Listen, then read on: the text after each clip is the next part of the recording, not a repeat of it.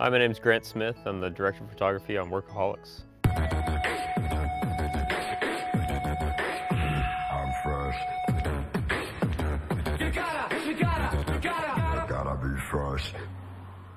I went to film school with Kyle Newacheck, who's the director and EP in the show.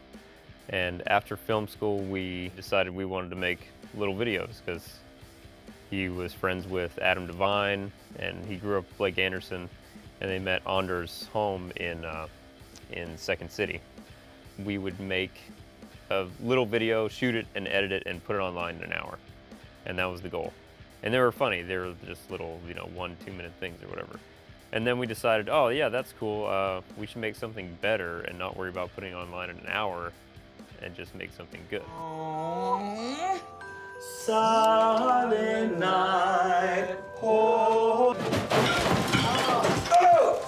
So we started making a little bit more serious comedy videos and they got bigger and then eventually we'd get little jobs for various websites, do a little series or one video here, one video there. You know, we'd get like a few hundred bucks or something like that. Beg, borrowing, and dealing. How are you creating this content with you know very little means? At the time when we started out, Kyle Newacheck was teaching editing at uh, LA Film School after he got out. You know, so we could get a couple lights from the film school, a little three light kit or something, tweeny kit, you know, and do some real basic stuff. We uh, painted a green screen on their kitchen wall and did did some green screen stuff there. Uh, you know, shop lights, whatever we, whatever we could scrounge up in a very very guerrilla style and just shoot because it was really all about the funny, you know. Whoa! Check out this guy. I didn't do it. Can Don't arrest me. Help you, Ossifer. It's my uh, costume for the pole dancing class I'm taking up at the rec center. It's a good way to meet babes, right? It's a good way to keep the body in shape, and yes, I have met some friends who are ladies.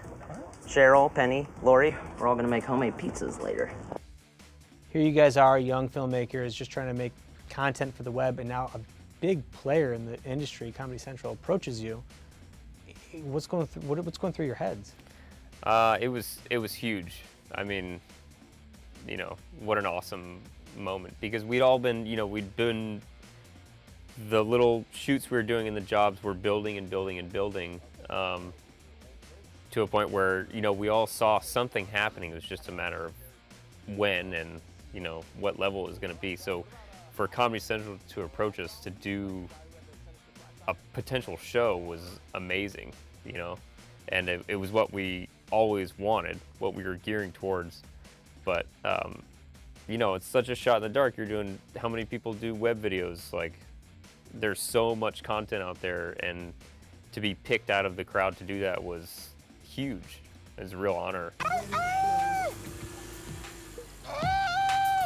And then, you know, and then doing the pilot, and we could tell when we did it, it was super funny. Like we loved it. We took the the three webisodes that we had, or however many webisodes it was, and kind of meshed them together a little bit to in one pilot, s- you know, half-hour pilot script to make it a legit show. Uh, and it turned out really well.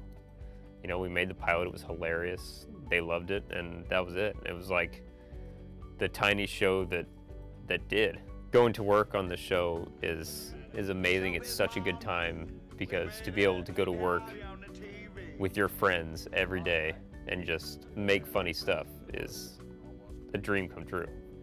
I mean, it's what everybody wishes their job could be like, you know. Workaholics season four. Um, that's, and that's a wrap. If you have an idea, just go out and make it happen. Keep creating because if you don't, certainly nothing will happen. And you might as well try. Yeah, no one has to see it necessarily. If you don't like it, that's fine. But either way, you learn something. You're honing your skills, you know.